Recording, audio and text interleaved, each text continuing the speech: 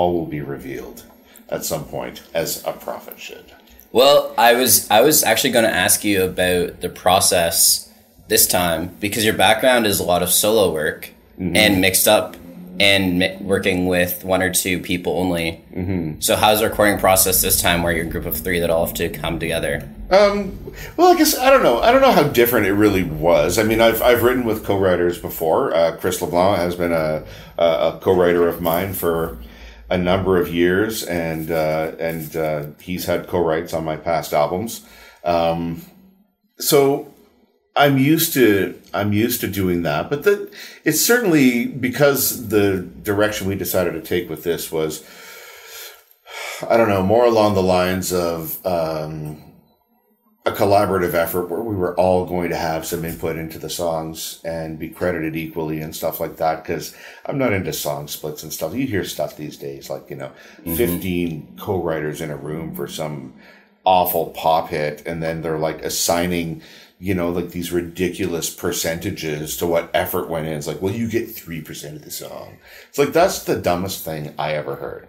You know what? I don't care. Whatever your effort was, if you made my song better, um, the, the idea I brought to the table, then we're going to split that 50 50 because, you know, I mean, 50% of something is better than 100% of nothing. If you can improve my song, then, then we're good to go and I'm going to credit you equally. I've done that with my son. I've done that with my daughter. I've done that with Chris and, and uh, a guy that I've played with for years and sort of our, our you know, jamming on Wednesday night band, Rob Williamson, um, and, and, and other people as well. Uh, Mark Donato uh, is another guy who, you know, took a song that I had and, and made it awesome. So uh, I haven't recorded that one yet. That'll be on my next project. So the the process, like people kind of get wrapped up in the idea of process and what's your process, and some people do have a process, and that's cool. I don't really.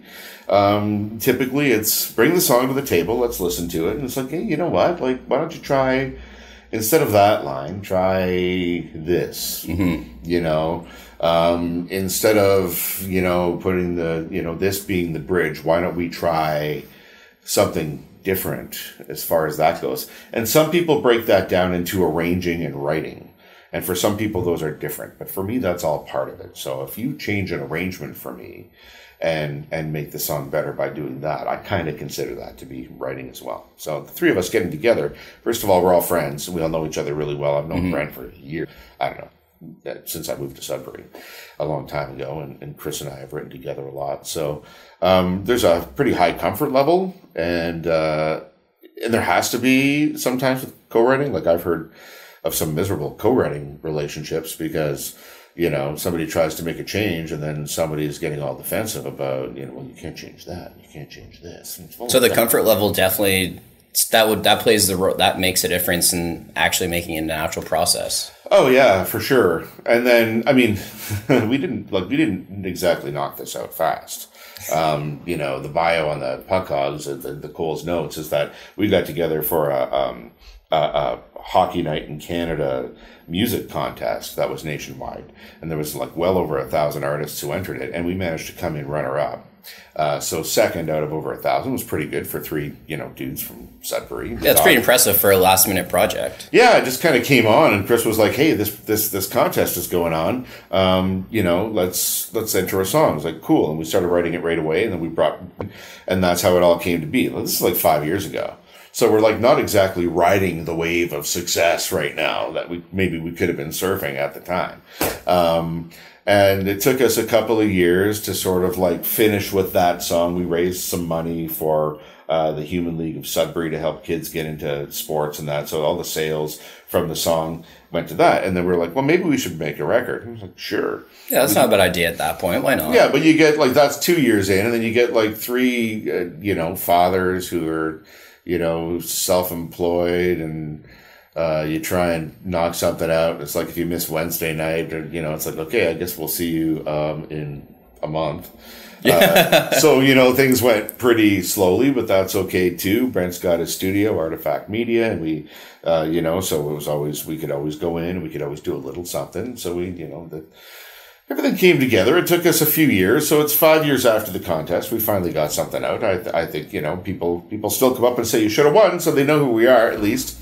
No matter where you hear your song coming out of a set of speakers that aren't yours, you're like, oh, this is great. Like, you know, um, but it's, it's a, it's something people chase, right? You know, you want that, you want that radio play.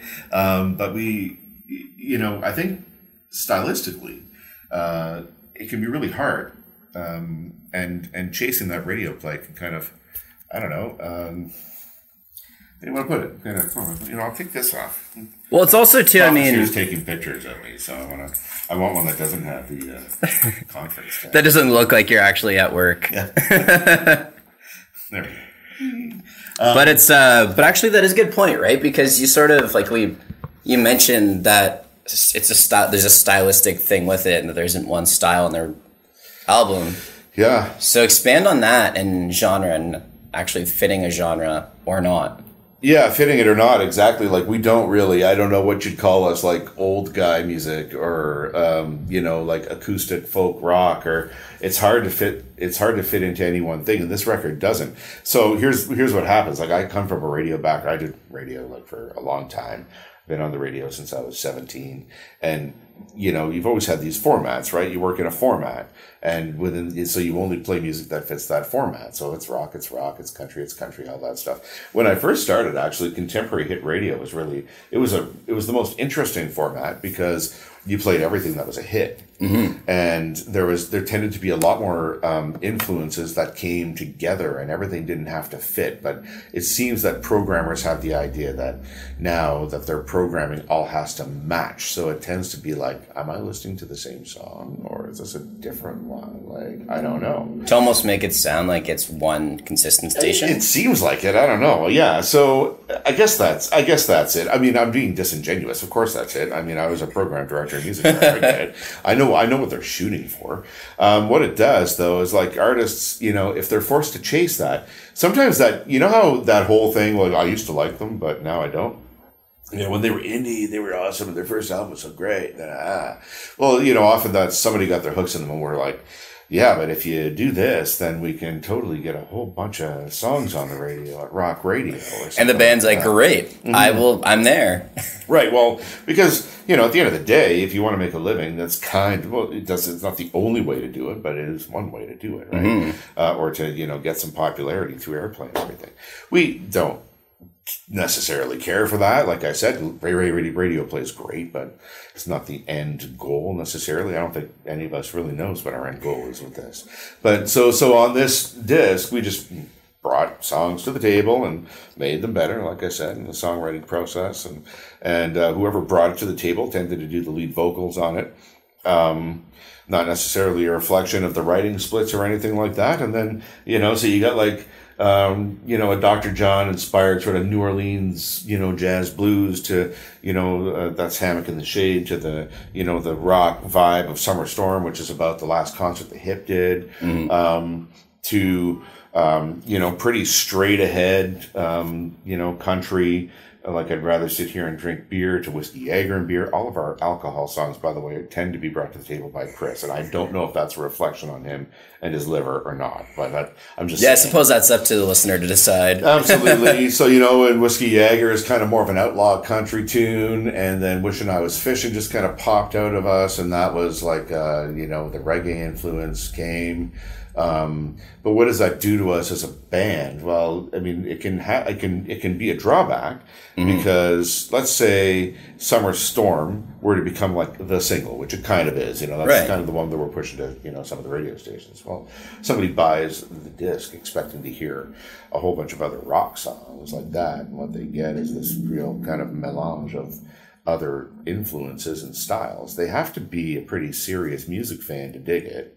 Um, if they're not a serious music fan, and honestly, I'm going to say probably most of your fans are music fans i think I would I would like to think that, but like if some casual you know person listening to the radio heard it, um, I don't want to like I'm not denigrating anybody. People's tastes are their tastes, and that's cool, whatever the case may be. But I don't think you know, I, I won't attach a percentage, but there's a percentage of people who aren't like music fans. It's just background noise to them. And oh, I like that song. So it has a good beat and I can dance to it. Kind of it used to be the whole thing.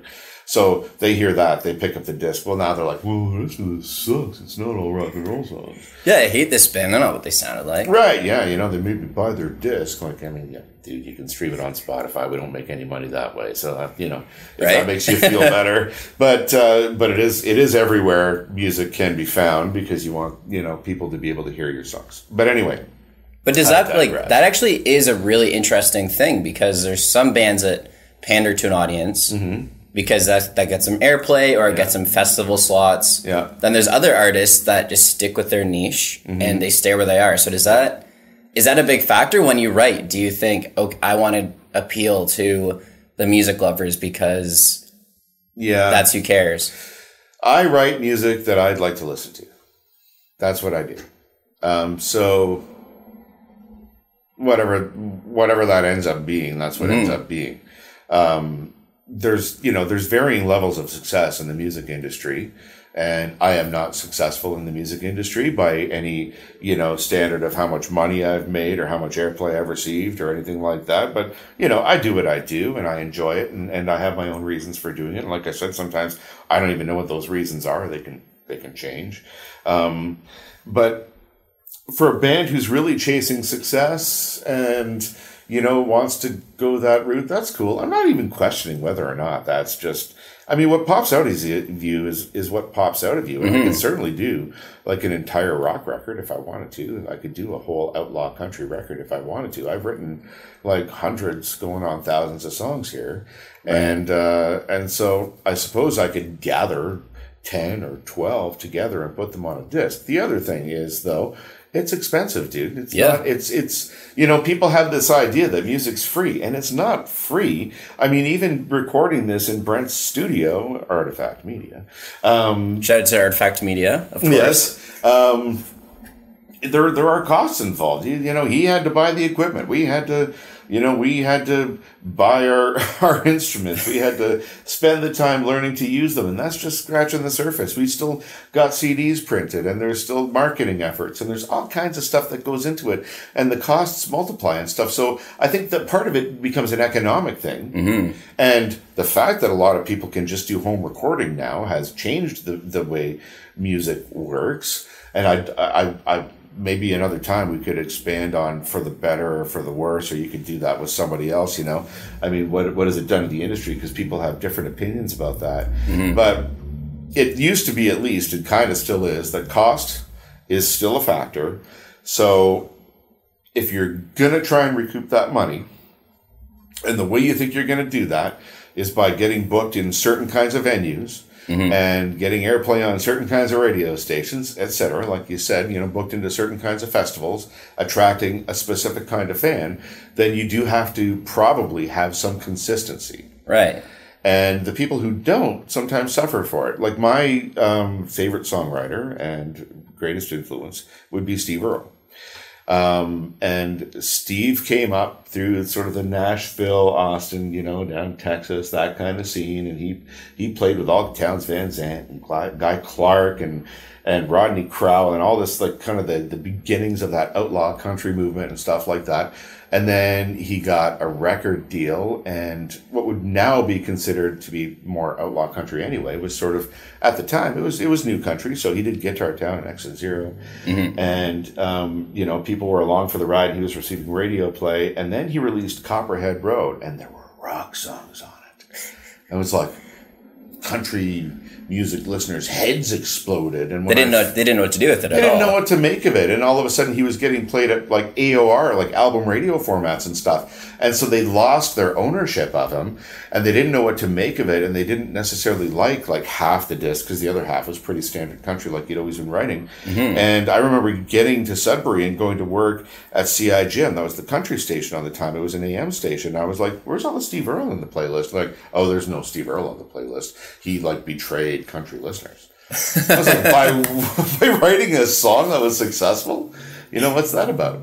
But it, it ultimately, like, I don't think Steve Earle cares. I mean, I, I'm, you know, I've been following him for a long time. I've met him a couple of times. Didn't have any deep conversations, but, you know, he's like a pure artist. He's going to write what he's going to write.